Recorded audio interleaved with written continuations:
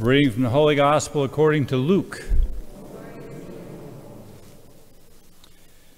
Jesus said to his disciples, Beware that your hearts do not become drowsy from carousing and drunkenness and the anxieties of daily life, and that that day catch you by surprise like a trap. For that day will assault everyone who lives on the face of the earth. Be vigilant at all times and pray that you have the strength to escape the tribulations that are imminent and to stand before the Son of Man. The Gospel of the Lord.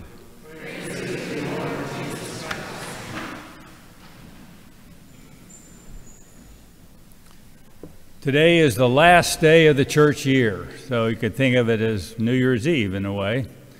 And uh, tomorrow we start a new year with Advent, so tomorrow is the first day of Advent. And the church ends this year with a vision of heaven in that book of Revelation we just heard uh, read. And it's a beautiful vision. I mean, there's God the Father on his throne, and uh, Jesus is next to him, and then through the street of heaven comes this crystal clear river, which is the Holy Spirit. So it's a picture of the Trinity Father, Son, and Holy Spirit there in heaven. And the tree of life is there, and there's, it has abundant fruit every, every month of the year. And it's, it's a picture of peace, it's a picture of, of a place where there is no evil, and the sun shines there all the time, which is the brightness of God that comes out. And it's very desirous the way you, you read this, this picture of heaven. And uh, in our, at the end of the reading, there's a line where, where God says, You know, I'm coming soon. And then we join in with that in our responsorial psalm today, with, uh, where we said, Come, Lord Jesus. It was uh, Maranatha, come, Lord Jesus. And Maranatha is from. Um, it's Arab, starts in Aramaic, so Jesus' native tongue, and it means "Come, Lord Jesus." We pray that Jesus comes. So we we desire it. We want to go to this place. It's described in, in Revelation, and then in our gospel, Jesus tells us to be vigilant. You know, stay on track. Get there. You know, like we're all vigilant when we came to church today. We didn't end up in the ditch. We didn't end up at the donut shop. We didn't end up at the casino. We came to church. We, we stuck on course and we, made, we stayed on the path.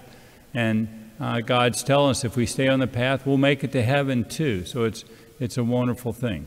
So one, one thing that struck me reading that uh, reading from Revelation was every, all the saints there look on the face of God.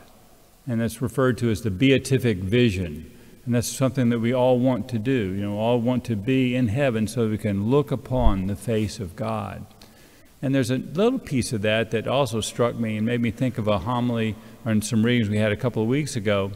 It was God is written on their forehead. So immediately I think of tattoos, you know, but I think what the the Jews would think of in the time of Christ was that Pharisees wore phylacteries. So that was and they would it was like a little leather box on their on their forehead, and it would strap and around their head and hold on their head. And in that little leather box would be key writings from Scripture. You know, you know love love God and love your neighbor, things like that would be in that phylactery.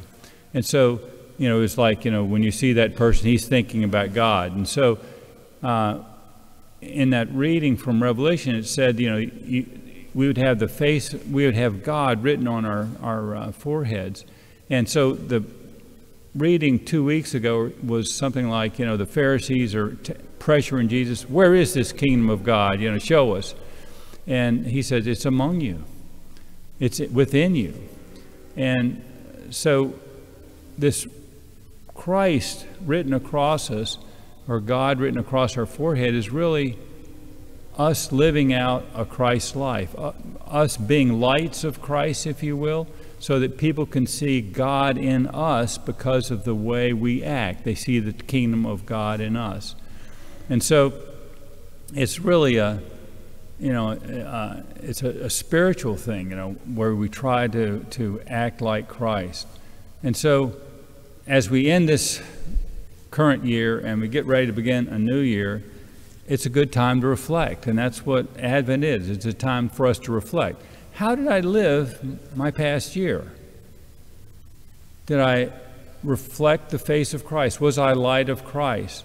Through my prayer life, my prayer, my fasting, and my abstinence, did it help lead me closer to Christ? Did the actions that I did through, you know, helping the poor, feeding the hungry, clothing the naked, uh, the, uh, you know, visiting the imprisoned, the sick, uh, serving the poor, treating our neighbor, did those actions that I did help people see the kingdom of God? Did I reflect that light of Christ?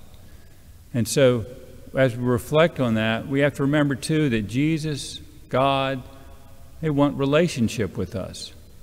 And we should work hard to have that relationship with them. And we nourish that relationship with God through our prayers and by the way we treat our neighbor. So, I guess Happy New Year's Eve.